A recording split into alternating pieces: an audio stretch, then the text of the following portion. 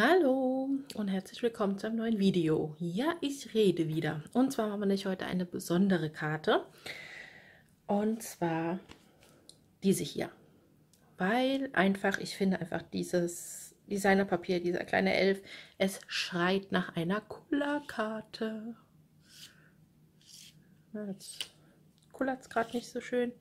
Ja, es funktioniert halt so besser. Ich hoffe, ihr seht es. Finde es so toll. Ich finde einfach diese Elfen schreien geradezu, lass mich kullern. So, und wie wir diese Karte machen, zeige ich euch jetzt. Und zwar, wir haben eine Grundkarte hier in Schiefergrau. Und die haben wir auf 14,5 gefalzt bei 10,5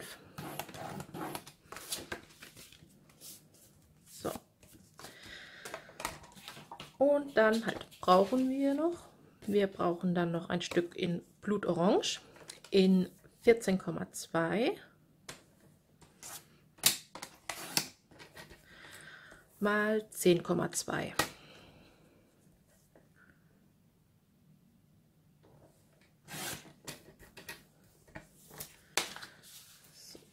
Und dann noch ein Stück flüsterweißen Farbkarton, extra stark in 9,8. Wo haben wir es denn hier? 9,8 mal 13,8. So. Und dann noch ein bisschen Designerpapier.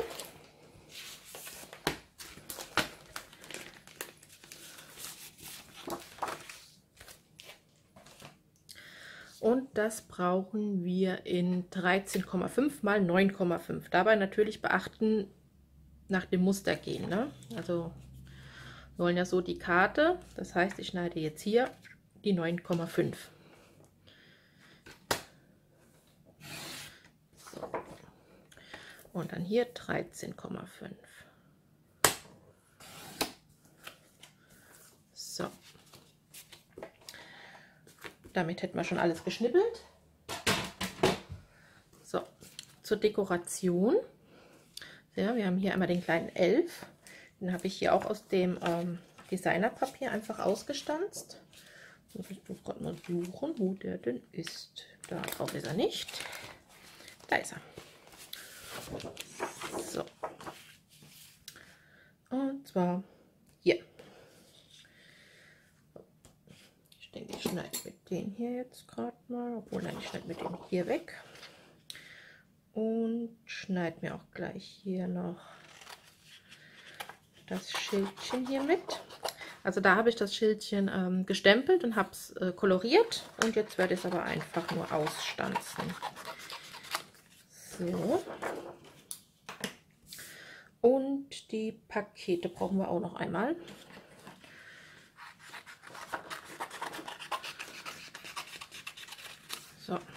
Jetzt habe ich die oben abgeschnitten. Hätte man auch eleganter schneiden können natürlich. Ne?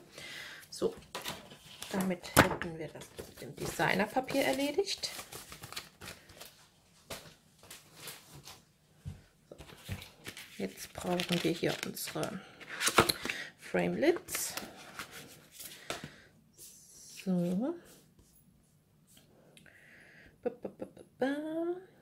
Aufpassen, dass wir nicht den falschen nehmen. So passt.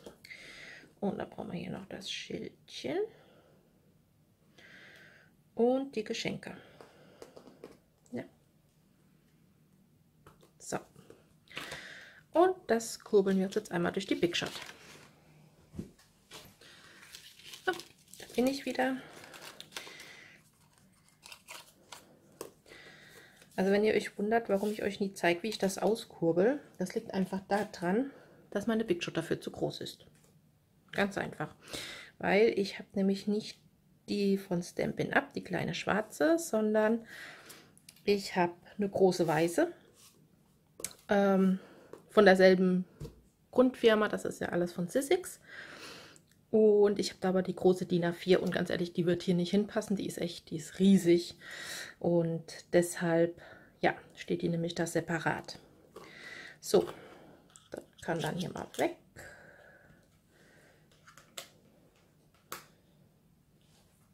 Das habe ich gerade gesehen, wir hätten uns das gleich noch ausstanzen können, aber naja, das machen wir dann gleich noch. So, jetzt brauchen wir... Ja, was brauchen wir denn jetzt? Ein Stempelkissen. Wir wollen nämlich hier das Nordpol drauf stempeln. Und dann nehmen wir nämlich Gartengrün. Und dann brauchen wir auch noch das Blutorange für das fröhliche Weihnachten. Und ein Stückchen Farbkarton in Flüsterweiß. So, fangen wir jetzt erstmal an mit, wo haben wir es denn? Also wir brauchen einmal den Nordpol. Ne? Und fröhliche Weihnachten.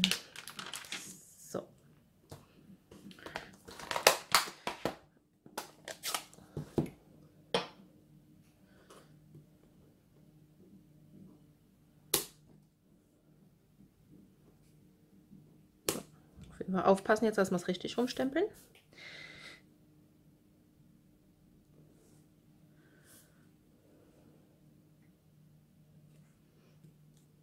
So, Nordpol.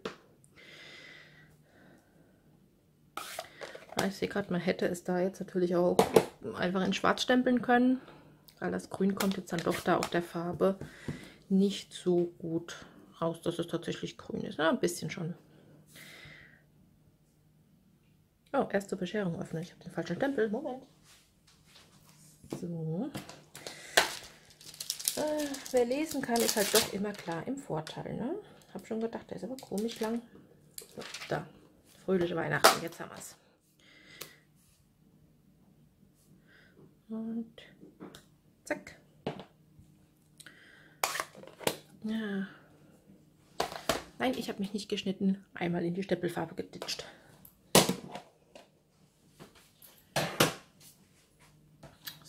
Das stanzen wir uns jetzt noch mal aus.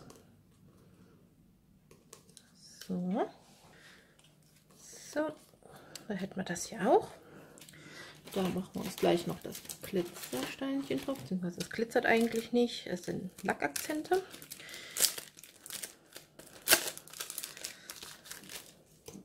So. Na, kommst du her?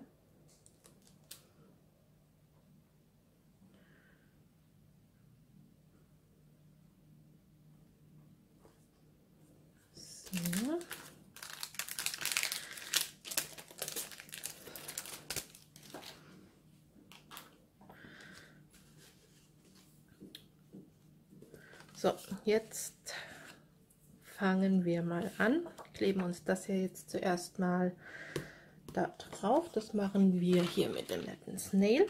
Aber am besten da, wo wir das hier gleich ausstanzen. Besser da nicht. Das heißt, gucken, dass wir, ähm, also wir machen jetzt einmal, ups, gucken, wie ich richtig schon bin, ja. So, also einmal hier oben auf jeden Fall können wir. Wir können hier an den Seiten und unten aber da nicht zu hoch kommen und auch an den Seiten nicht zu weit rein. Und dann können wir hier in der oberen Hälfte noch mal eins machen. So. Ich meine, ich denke mal nicht, dass es ein Problem gäbe, wenn ich da durch den Kleber stanze, aber ich weiß auch immer mit, mit irgendwas, was quasi ja schneidet und dann in Berührung mit Kleber bin ich doch immer vorsichtig.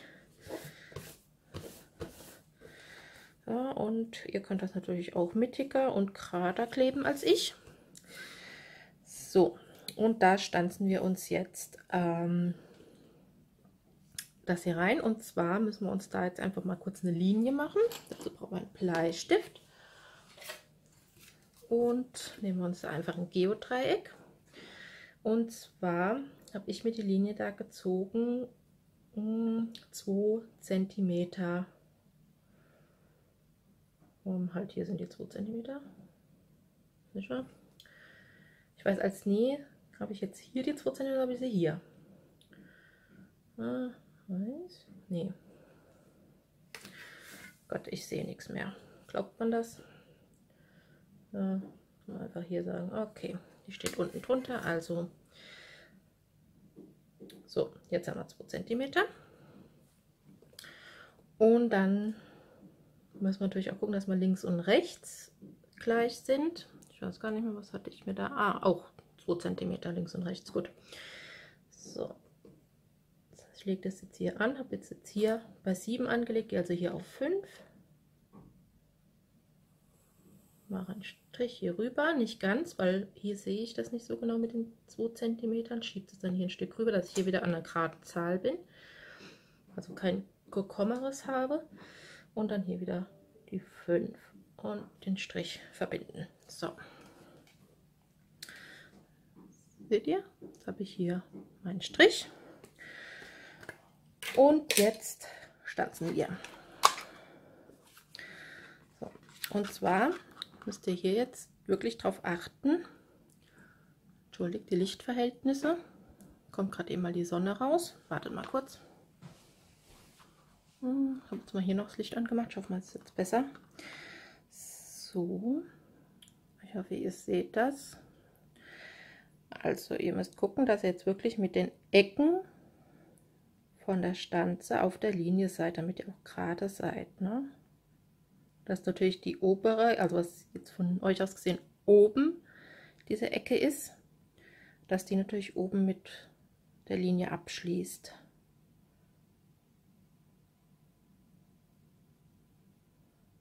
So. Zack. Einmal. So machen wir das hier auf dreimal. Man kann das natürlich auf zweimal, würde rein theoretisch reichen, aber so sieht man das besser, dass man hier auch noch gerade ist. So, ich hoffe mal, dass ich mich nicht wieder eine Ecke reinmache.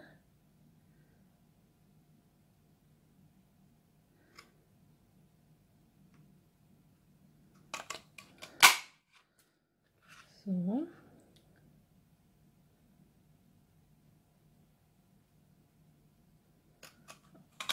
zack. Und ja, doch, eine kleine Ecke habe ich hier doch drin. Hier eigentlich nicht so, aber hier so eine kleine Ecke. Das kann man aber hier noch mal ein bisschen sich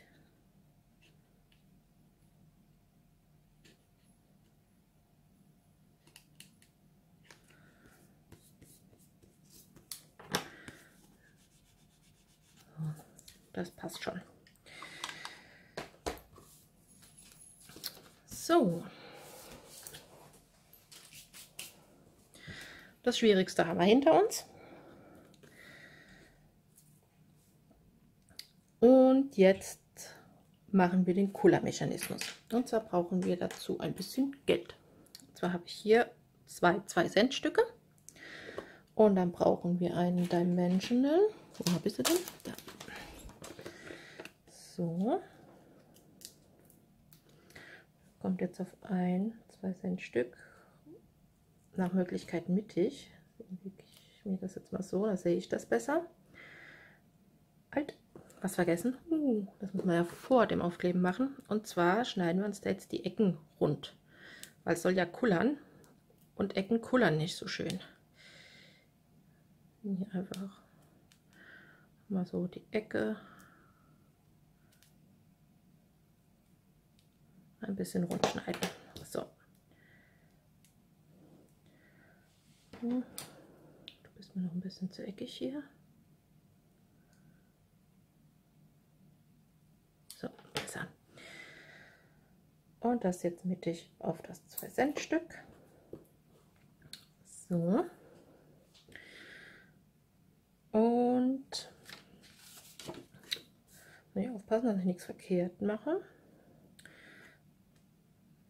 weil wir legen das hier jetzt so da rein, ziehen das ab und legen jetzt das andere 2 Cent Stück, ups, mittig natürlich, also dass das mit dem anderen ziemlich genau abschließt, hier drauf. So, ja, und zip, tada, da kullert es schon. So, Jetzt kleben wir uns die Karte hier drauf. Müssen wir natürlich mit Abstand machen. Das heißt, wir nehmen uns da, jetzt habe ich den Tisch verschoben, Ups. Wir nehmen uns hier unsere Klebstreifen.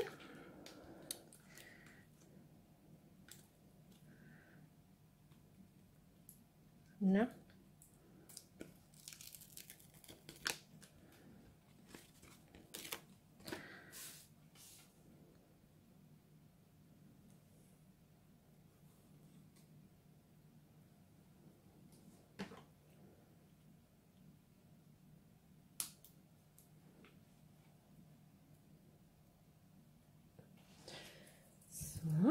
einmal. Entschuldigung, wenn ich jetzt zwischendrin mal ruhig bin, aber dann konzentriere ich mich, weil bevor ich jetzt was falsch mache, halte ich dann doch lieber meinen Mund. So, hier noch ein kleines Stück und können wir hier hin machen.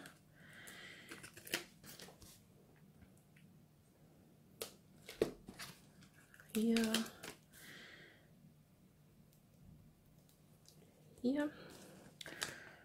Und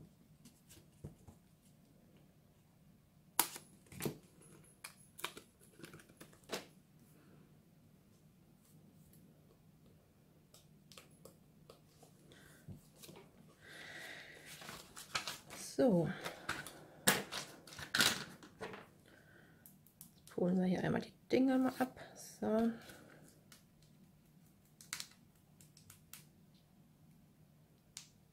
Na?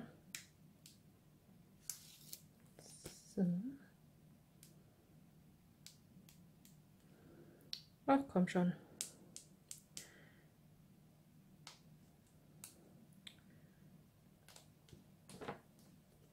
Willst du mich jetzt veräppeln? Hör auf dich zu wehren, ich gewinne sowieso. Ha, siehst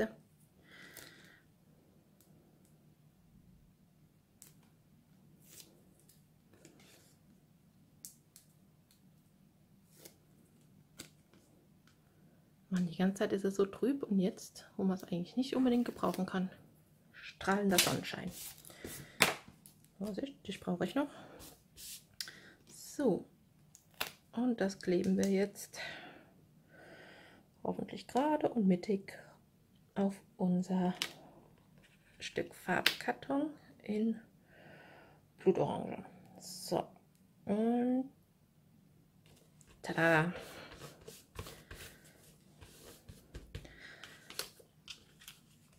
Dann unser Kulali. Kleben wir auch mit einem Dimensional auf. Voilà. Den müssen wir uns jetzt aber nicht rund schneiden. Da sind sie, da sind sie.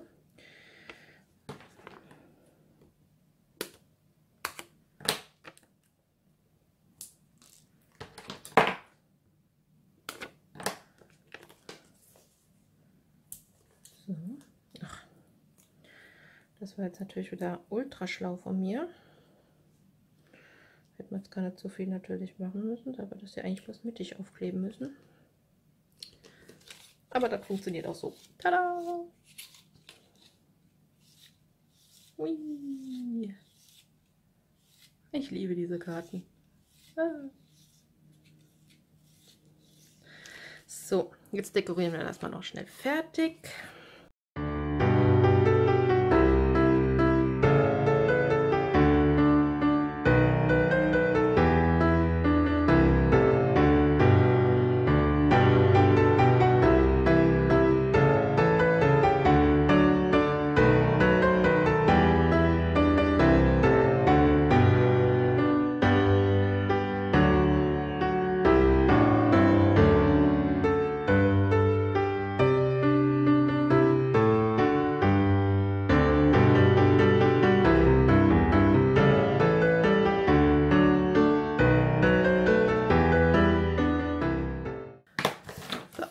Jetzt haben wir es aber. Und fertig ist unsere Cola-Karte. So, ihr könnt natürlich auch den Elfen für stempeln und kolorieren oder die Pakete, die ganzen Stempel habt ihr ja hier mit drinne und äh, könnt natürlich auch alles selbst kolorieren oder wie gesagt einfach aus dem Designerpapier ausschneiden. Aber falls ihr euch zum Beispiel das Designerpapier nicht holen wollt und wollt da irgendwas anderes als Hintergrund machen, reicht natürlich auch einfach das Stempelset weil rein theoretisch braucht ihr nicht mehr die Framelits, weil ne, man kann ja auch mit der Hand ausschneiden. Ne? Für sowas gibt es ja diese hübschen Dinger. Also das ist auch möglich. Ja. So, dann wünsche ich euch noch viel Spaß mit meiner Serie 10 Karten für Weihnachten und wünsche euch einen wunderschönen Tag. Lasst mir einen Daumen nach oben da und ein Abo. Wenn ihr nichts verpassen wollt, drückt auch noch das kleine Glöckchen, da kriegt ihr immer eine Meldung, sobald ein neues Video online ist. Und ja, ansonsten sage ich Tschüss aus der schönen Pfalz.